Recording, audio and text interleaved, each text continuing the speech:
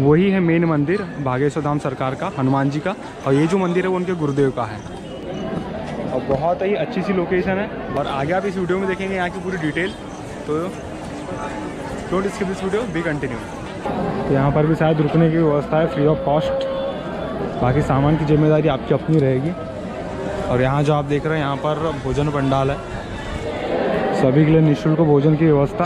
शनिवार, हर मंगलवार को होता है, इतनी ज़्यादा भीड़ उमड़ती है यहाँ पर। कि इस तरीके की सिस्टम यहाँ पे फिर लगाना पड़ता है लोगों के लिए।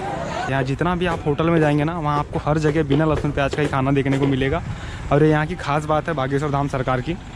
राम राम जी दोस्तों, कैसे आप लोग? आई होप आप लोग अच्छे होंगे। तो आज मैं जा रहा हूँ छत्तरपुर के गढ़ा गाँव में, और ये बागेश्वर धाम के नाम से भी फ़ेमस है ये जगह। तो चलिए वीडियो में आगे चलते हैं। थोड़ा सा रास्ता का इंस्ट्रक्शन आप देख लीजिए, उसके बाद हम बागेश्वर धाम चलते हैं। चलिए, शुरू करते हैं। भैया जी, जय श्री राम। जय श्री राम। भैया जी आप मुझे बताइए कि यदि किसी को बागेश्वर धाम आना है तो वहाँ के लिए बेस्ट रूट कौन सा हो सकता है? ट्रेन के लिए भी और बाय बस अगर हम आना चाहे तो क्या क्या रूट हो सकता है हमारे लिए? बाई ट्रेन के लिए जी। जबलपुर से आप बैठेंगे। जी। लखनऊ चलती है जबलपुर लखनऊ। जी। सुपर फास्ट तो आप बांदा जंक्शन उतरिए स्टेशन। जी। बांदा से आप बाई बस भी आ सकते हैं खजुराहो। बाई ट्रेन आने के लिए आपको बांदा तो महोबा में फिर बदलना पड़ेगा ट्रेन। महोबा से आप खजुराहो तक डायरेक्ट है ट्रेन। जी और फिर खजुराहो से आप डायरेक्ट बागेश्वर धाम आ सकते हैं। हाँ जा सकते हैं बाय ऑटो रिक्शा से। जी। हम्म। और आपको यदि बाई बस आना है तो जबलपुर से आप डायरेक्ट आती हैं छतरपुर। जी। जबलपुर से सिवनी से उस तरफ़ से बालाघाट से जो बसें आती हैं छतरपुर आइए छतरपुर से 40 किलोमीटर पड़ता है गंज। जी। 40 किलोमीटर बसें आती हैं। छतरपुर से आपको बागेश्वर धाम की ही बसें मिल जाएँगी। डायरेक्ट बस? डायरेक्ट बस आपको जो धाम उतारेंगे इसी रूट से हम आसानी से बागेश्वर धाम तक आ सकते हैं। बागेश्वर धाम आ सकते हैं। बहुत अच्छा लगा अभी आपसे बात करके। जय श्री राम। जय श्री राम। यहाँ से बागेश्वर धाम का प्रवेश द्वार है दोस्तों। और आज दिव्य दरबार लगने वाला है। के लिए बहुत ज़्यादा भीड़ है। दिन आज का शनिवार है। और बहुत ही ज़्यादा भीड़ है यहाँ पर। ये जो आप लाइन देख रहे हो, लंबी लाइन जो इतनी लगी है, यहाँ पर भोजन की व्यवस्था निःशुल्क होती है और ये लाइन उसी के लिए लगी हुई है यहाँ पर। शनिवार और मंगलवार को भूभत कार्यालय में तीन बजे से प्रारंभ करके यहाँ महाप्रसादी के साथ। महाप्रसादी की व्यवस्था है यहाँ पर।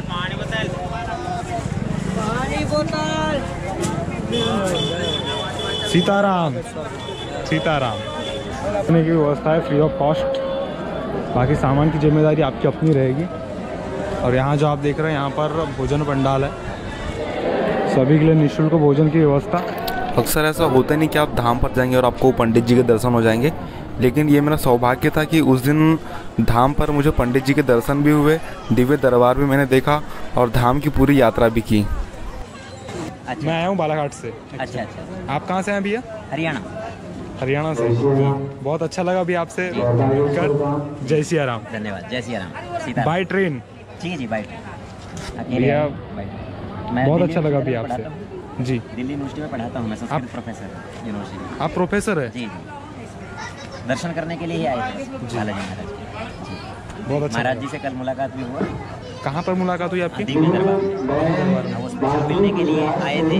जी। जैसे जो दिव्यांग व्यक्ति हैं उनको अंदर एक जगह व्यवस्था की गई थी बैठने की। जी। वहाँ पे स्पेशल मिलने के सभी से धन्यवाद। आज दिन शनिवार होने के कारण पे यहाँ पे बहुत ज़्यादा भीड़ हो जाती है। इसीलिए हमें रूट चेंज करके वहाँ से क्या है ना बंद कर दिया जाता है गेट को सामने से। जब आप बाकी दिनों में आएँगे और जब गुरुदेव नहीं रहते हैं उस टाइम पे आपको इतनी प्रॉब्लम नहीं होगी धाम आने में।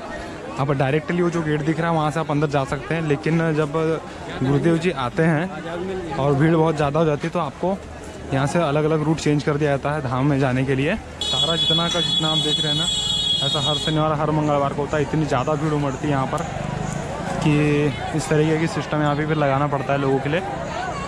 और हम भी कुछ यहीं से क्रॉस करना, हम तो यहाँ से डायरेक्ट जाने वाले हैं। इन बैरिकेड्स का उपयोग मुख्यतः मंगलवार और शनिवार और जब शास्त्री जी जब धाम पर आते हैं, उस समय किया जाता है।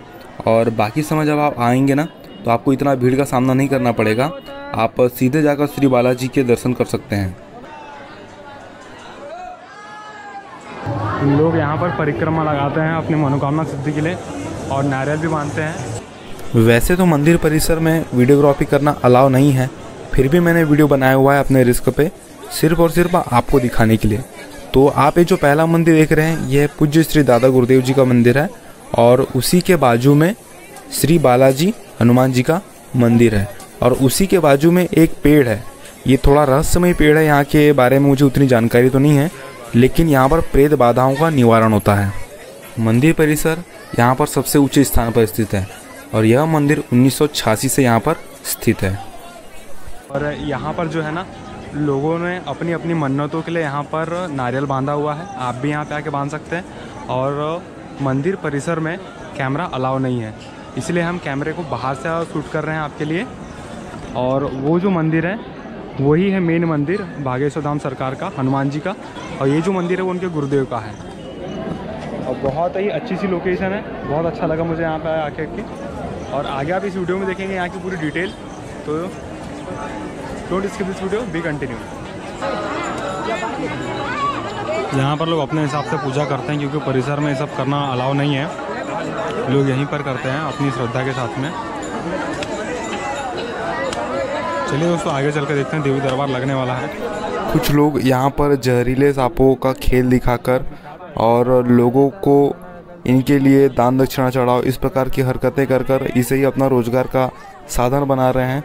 तो शासन प्रशासन से निवेदन है ऐसे लोगों पर कार्रवाई की जाए कड़ी से कड़ी कार्रवाई जो इन जीवों का इस्तेमाल कर रहे हैं। देव जी देव ठंडा पानी।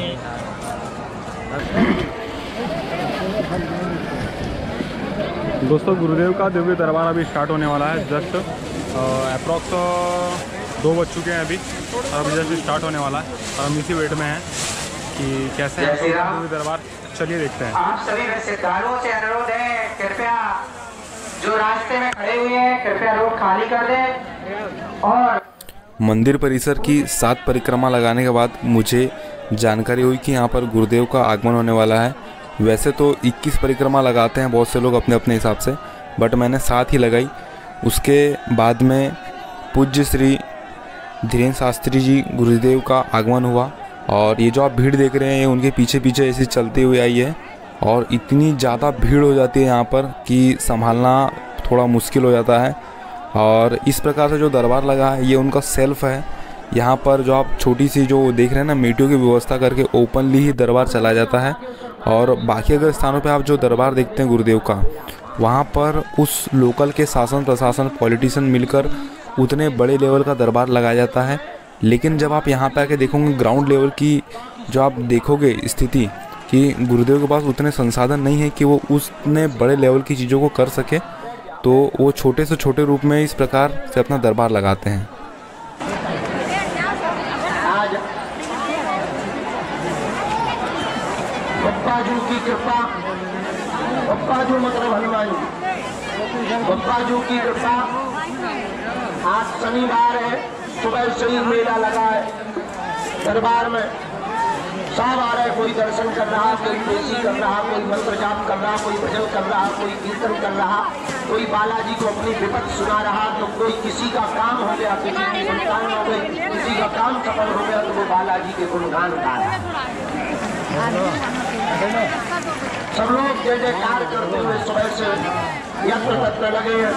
और हमें पता लगा कि 12 बजे के बाद आप लोगों ने भी यहाँ हाउसफुल कर लिया था। और हमने आपको कल भी बोला था कि दिन में नहीं बैठना है, क्योंकि धूप बहुत होती है काऊ जनटे बोल जाए, कयामत हो जाए। लेकिन अब बैठ गए तो कोई बात नहीं, हम भी आ गए, सो कोई बात नहीं, अब दरबार लगे ये बहुत बड़ी बात। अद्भुत अविश्वसनीय और अकल्पनीय। ये तीनों शब्दों की परिभाषा आपको बागेश्वर धाम सरकार में देखने को मिलेगी। यहाँ वो सभी चीज़ें देखने को मिलेगी जिन पर आज का मॉडर्न साइंस बिलीव नहीं करता है। लेकिन ये चीज़ें तभी होगी आपके साथ में वहाँ पर जब आपकी श्रद्धा श्री हनुमान जी के साथ है। पूज्य गुरुदेव के द्वारा यहाँ पर आपको पर्चा भी बना के दिया जाता है और पर्चा भी रैंडमली कहीं से भी पब्लिक को उठाया। उस दिन मैंने देखा कि सच में ये चीज़ें होती है जो हम टीवी पर देखते हैं। ये एक्चुअल में ये सारी चीज़ें यहाँ पर होती है रियलिटी में। और मैंने किसी पर्सन का यहाँ पर पर्चे का भी वीडियो बनाया हुआ है जिसे गुरुदेव ने रैंडमली उठा लिया था किसी स्थान से। सीताराम। हो।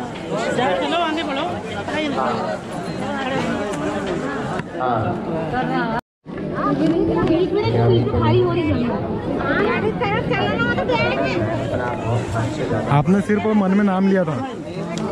आपकी अर्जी लग गई। और तुम इस चक्कर में मत आओ तो तुम्हारा पर्चा बनेगा। मन की बात जानने मत आओ।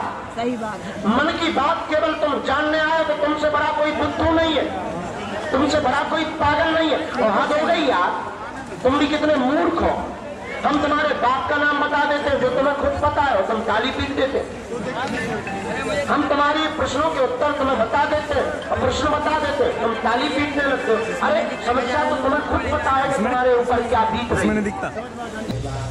दोस्तों आज जो दिव्य दरबार लगा था उसमें हमारा तो नंबर नहीं लग पाया। पर इसका ये मतलब नहीं कि हमारी आस्था नहीं है बालाजी में हम फिर भी उनके हैं और वो हमारे हैं। और आप भी आइए बागेश्वर धाम गढ़ा में। और अगर आपको वीडियो मेरी अच्छी लगे तो आप सब्सक्राइब कर सकते हैं चैनल ठीक है दोस्तों, मिलता हूँ आपको नई वीडियो में, तब तक जय श्री राम। मामा जय श्री राम। जैसे